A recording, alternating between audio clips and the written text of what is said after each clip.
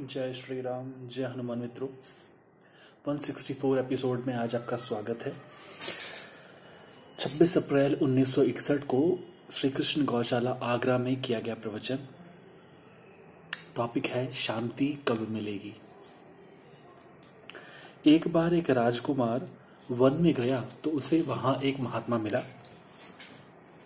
जो बहुत शांत अवस्था में था, राजकुमार ने उनसे पूछा कि मैं शांति की अवस्था को कैसे प्राप्त करूँ? महात्मा ने कहा, तुम तो राजा के सुपुत्र हो, परंतु मेरा रिश्ता है राजाओं के राजा से। अगर उसका दर्शन करना चाहो तो पहले बताओ कि तुम कौन हो। फिर मैं शहनशाह को जाकर कहूँगा कि वो तुम्हें दर्शन दे। राजकुमार ने उसे अपने नाम व पते वाला विजिटिंग कार्ड दिखाया। महात्मा ने कहा यह कार्ड तो केवल कागज़ का एक टुकड़ा है और बताओ कि तुम वास्तव में कौन हो?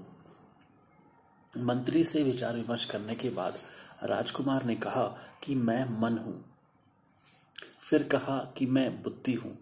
तब महात्मा ने कहा कि मैं प्राण हूँ। महात्मा ने बोला कि मन व बुद्धि मेरे हैं, इसका मतलब कि अभी भी तुम दूसरी वस्तु हो। यह सुनकर राजकुमार आश्चर्य में पड़ गया। धीरे धीरे उसे ज्ञात होने लगा कि मैं आत्मा हूँ। फिर तो उसे कुछ और पूछने की आवश्यकता ही नहीं पड़ी, तथा आत्मा में परमेश्वर का दर्शन करके महाशांति उसने प्राप्त कर ली। मन। मन एक शक्ति है, मन के बिना मनुष्य अधूरा है। मन को किसी काम में लगाएँगे, तभी वह कामयाब होगा। भगवान के बिना कार्य अधूरा रहता है, मन बुद्धि से जुड़ा होना चाहिए। बुद्धि भी अच्छे बुरे की पहचान करने के लिए आत्मा से प्रकाश प्राप्त करती है। शरीर, रथ, मन, घोड़ा, बुद्धि, लगाम व आत्मा कोचवान है।